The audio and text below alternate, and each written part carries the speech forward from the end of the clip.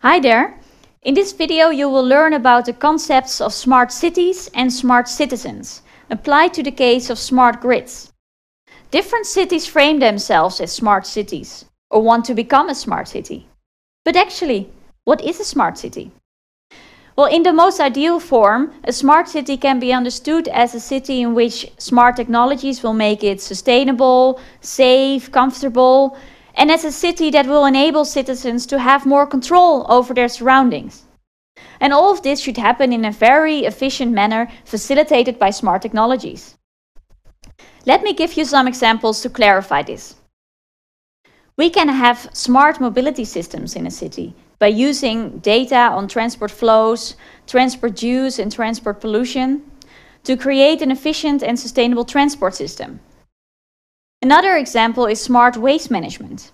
In a research project by AMS and Wageningen University, GPS trackers have been placed in empty water bottles to trace them once thrown in the Amsterdam canals, to better understand where and how waste moves in the Amsterdam canals in order to improve waste management systems. But we should be careful that the smart city is not just about efficiency, data and new technology. The smart city should facilitate active involvement of citizens as well in the management of urban problems. Smart technologies can offer just that, as they provide citizens with opportunities to take more control over their surroundings. Technologies facilitate knowledge sharing or provide citizens with means to measure problems of urban sustainable development Citizens, for instance, measure smog levels or noise levels um, uh, via uh, sensors and smartphone applications. The digital age also offers more opportunities for citizens to raise awareness, for instance via Facebook, to get an issue on the political agenda of the City Council. But there are risks as well. There are problems of exclusion and access. Not all citizens understand or want to engage with new technologies and become excluded. Think, for instance, of the elderly who do not always know how to operate a computer or do not own a smartphone. And there are privacy issues. Who sees all the data we enthusiastically collect? Who controls the management and analysis of the data? And what is it used for? How much insight do citizens have in all this collected data about their behavioral patterns and social practices in a city?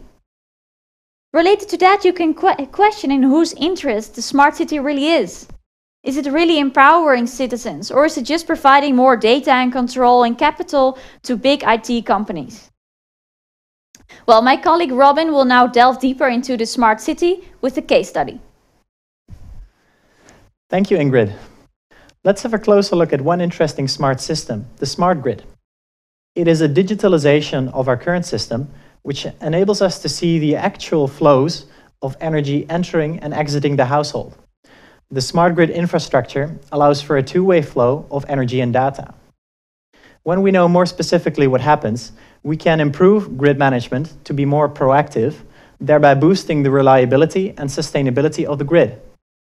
Smart meters, energy displays, and other IT innovations allow us to monitor and micromanage these flows in real time in a number of specific ways.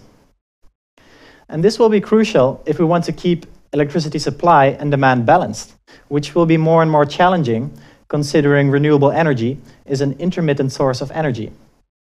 Smart meters, uh, smart grids through smart meters and home energy management displays can give consumers real-time insight into their energy consumption and renewable energy production. In the smart grid, households can have their own PV panels without risking blackouts. This can empower households to conserve energy much more actively, as well as to save money by consuming at times of the day when electricity is abundant and cheap. In other words, through dynamic real-time pricing of energy, consumers are motivated to contribute to, to balancing the grid by timing their energy demand. Also, the smart grid allows public and private actors in the sector in the energy sector to develop new services and products for their consumers such as improved billing and energy storage. But there are also concerns. The data the smart, grid, the smart grid generates is sensitive information. Who has access to that data besides the consumer? The Netherlands saw a lively privacy debate on smart meters, resulting in strict regulation. Or also, does the smart grid turn households into grid management? Is it their responsibility to balance the grid, or should and could electricity distribution companies do that more efficiently? Thirdly, not everyone may be able to enjoy the benefits the smart grid promises to consumers, for example, as a result of digital illiteracy or if people live in less compatible homes. Other consumers may not want to do more with energy than, than pay for the bill, and may not be persuaded by financial incentive schemes. Now, how do you imagine the smart grid could change your daily life?